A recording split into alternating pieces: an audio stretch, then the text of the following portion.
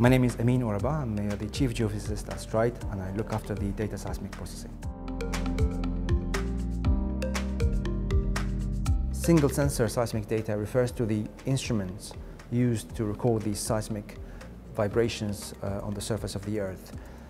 Historically, um, arrays of sensors have been used in a certain pattern to uh, create filters and increase the signal to noise ratio of the signal.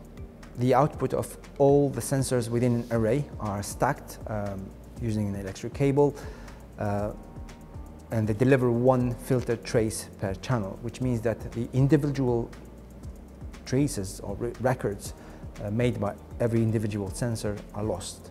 So um, a data is called single sensor data when each individual sensor dataset is recorded separately.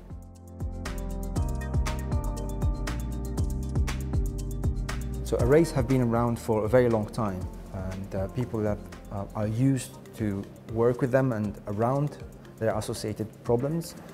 The way specific geometries work in specific regions, also the way the data is QAQC'd and processed. So they don't necessarily want to take the risk to move to a new system, um, even if that means that they are losing on some benefits. So single sensor data um, gives a, a true representation, unfiltered representation of the, of the seismic wave field. And when the, the spatial sampling is high enough, um, they tend to produce a much better seismic image results at the end because the processing works better with this type of uh, data set. Um, and a lot of the assumptions used in processing do not include the presence of array.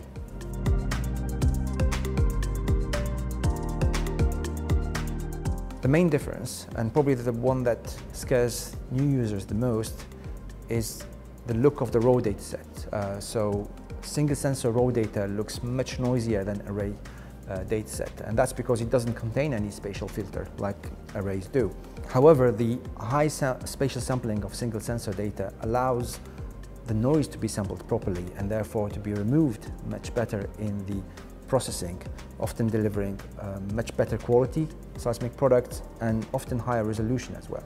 Note that it is therefore essential uh, for these single sensor instruments to be placed at a shorter distance than array groups to allow for this high spatial sampling to work.